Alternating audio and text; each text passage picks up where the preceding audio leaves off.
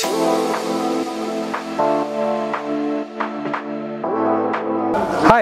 I'm Matthijs. I'm a software engineer with Edge Impulse. I'm at Data Science Africa for the second time. I was also last year in Kigali. I've had an awesome experience here. It's very rewarding to be with all the very intelligent and motivated participants.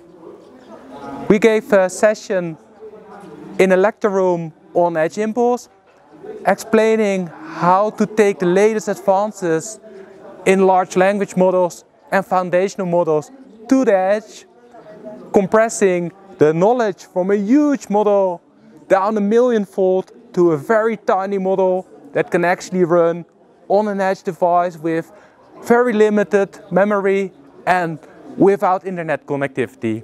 I think that's really cool. And we went into the field doing work on bioacoustics, showing how to make model to detect the activity of bird species around here and really showing how this knowledge about machine learning transfers into a real application that can make a difference. Yeah, I see a lot of uh, opportunities.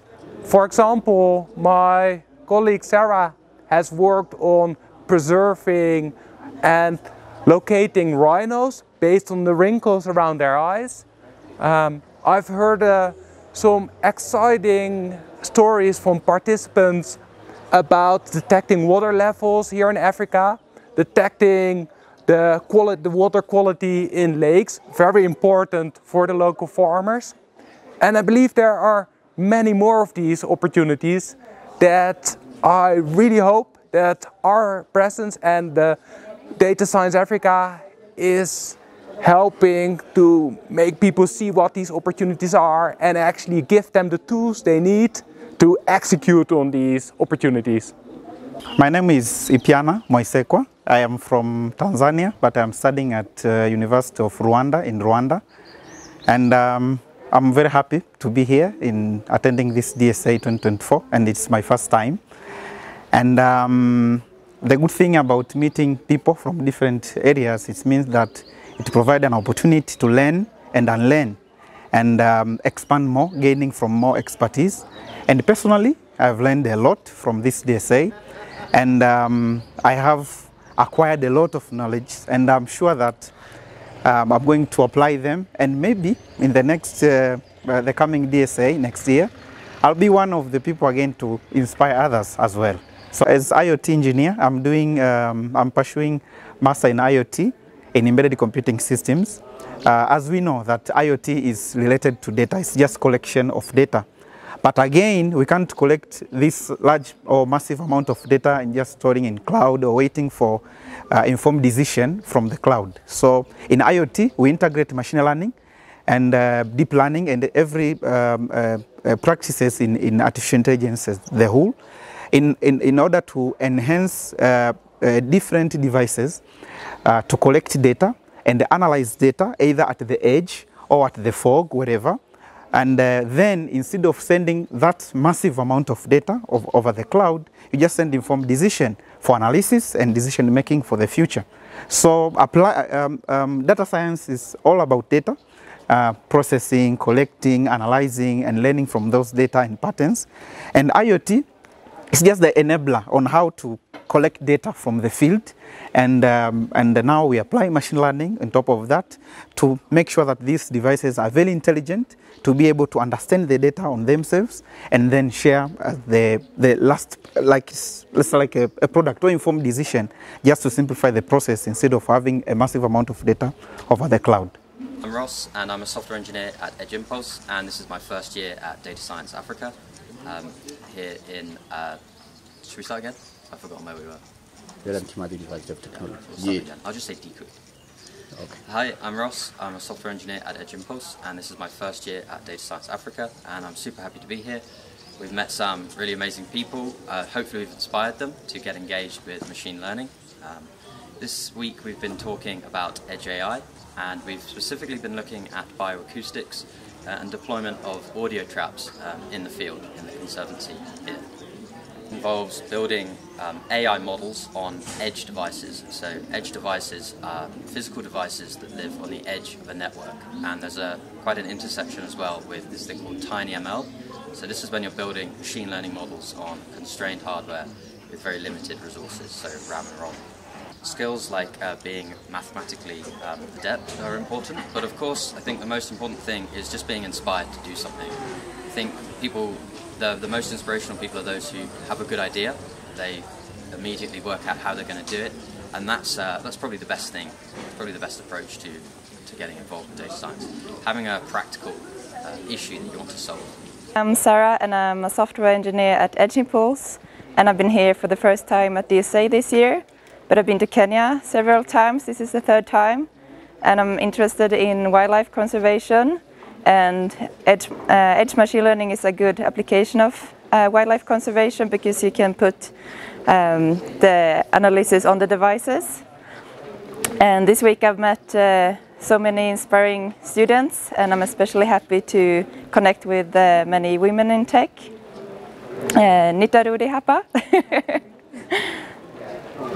yes, when deploying uh, technology for wildlife conservation it's important to make sure that the correct people get access to the devices and that they cannot just grab the device and get access to, for example, the, the locations of endangered species.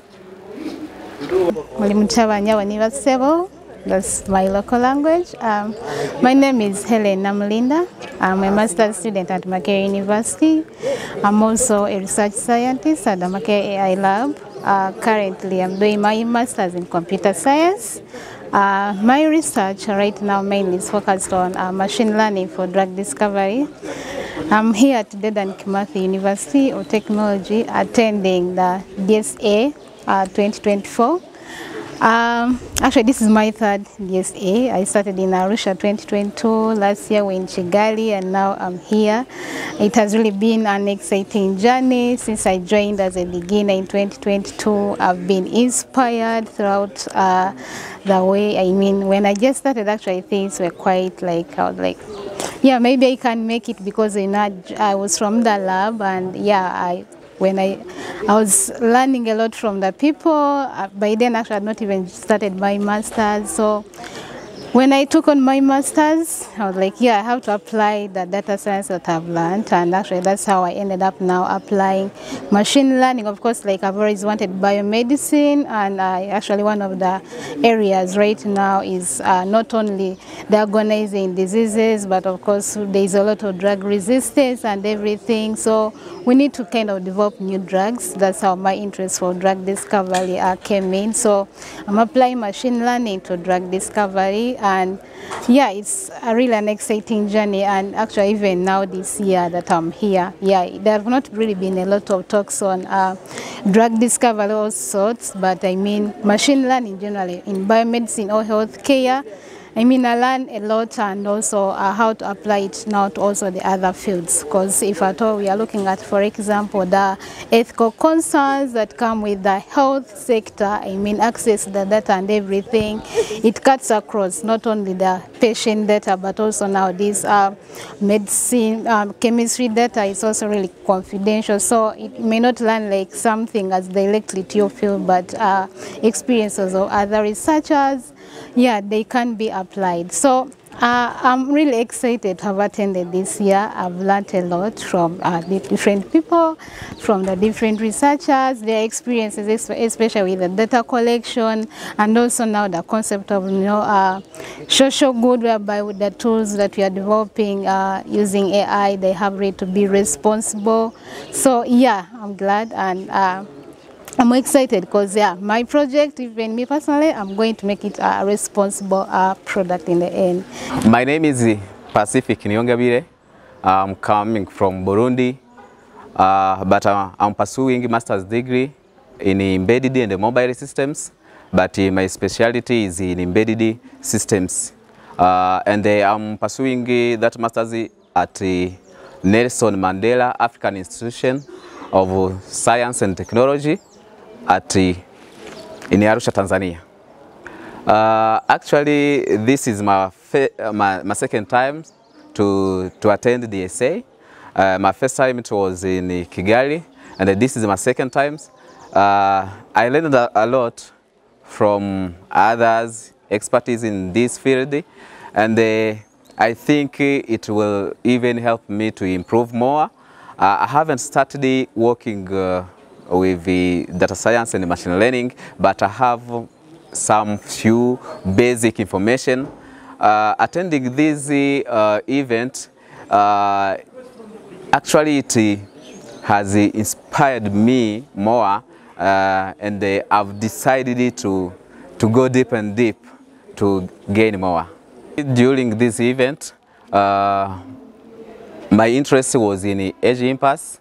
Uh, is uh, I'm doing masters in embedded and mobile systems, uh, I was even motivated to pursuing my PhD in uh, embedded, uh, but by combining the data science and the, the embedded systems. Uh, so that's why I was most uh, interested in edge impasse uh, to use data science, those machine learning in those 10 devices, uh, different uh,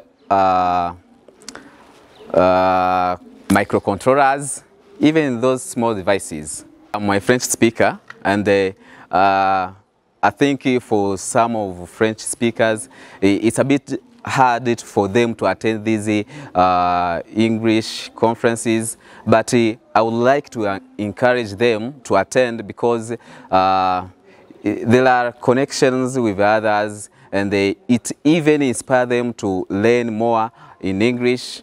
And they, I would like to encourage uh, all students, researchers and the other individuals to attend these uh, event, data science in Africa, for them to improve or to spread these new technologies even in those French country speakers. En fait, je, suis, je parle le français, euh, mais j'ai participé dans une conférence au cœur, ils utilisent l'anglais. C'est pourquoi je voudrais encourager euh, beaucoup déjà de chercheurs, des étudiants euh, qui parlent le français et qui ont peur d'atteindre déjà ce genre de conférences. Et ça, c'est pour vous encourager et vous allez apprendre beaucoup et ça va aussi aider votre pays euh, puisque beaucoup de conférences se font en, anglais. Donc n'ayez pas peur de, l'anglais, mais il faut que vous attendiez dans ce genre de conférences. Euh, C'est un mot d'encouragement. Merci. My name is Samgelom Sibi. I am from Eswatini. Uh, I did uh, Bachelor of Science Information Technology at the University of Eswatini. I just recently completed my studies there, uh, but I am pending a, a, I am pending a, a graduation. Um, uh, so today I am at um, DSA Africa, hosted in Kenya at um, Dedan University. Uh, this is my second time attending the um, DSA summer school and workshop, and I must say that it's um, a truly insightful and, and, and impactful event. Um, personally for me, um, I got uh, a lot of insights and, and ideas as to how I can make my project uh, more like more robust. Uh, I was doing a project um, entitled YOLO, YOLO like YOLO version 7 for like for like for like maize leaf blight detection and here I have gotten new insights as to as to how I can deploy it and how can I and how I can make the model more robust and um, even try to deploy it on like um, edge devices. Um, and I also managed to like um, learn other things more than that from um, um, natural language processing to like um, uh, foundational models to like um, a, to like um, data science in like um, in like um, for oh oh so and um, I went on to like um, learn to like um, learn about speech detection, NLP, foundational models, physical models, and um, how those they can be applied to to the context of um, Africa and how AI has so much potential for the African continent. As I have mentioned before that uh, that um, for my undergraduate, I was I was um, doing that project from the skills and, and knowledge I, I, I have learned here. I am planning to like resume my project on that and pursue the like master's programs on it. So yeah, that those are current endeavors that was that I look forward to doing right now. What was your project about? Oh, I, I'm, oh, my project was about using the object detection models for like for like maize leaf blight detection. But now I am, but like but now I am looking to like like to more to like in, to like incorporate other diseases and and possibly integrate pest identification and spot pesticide application on it.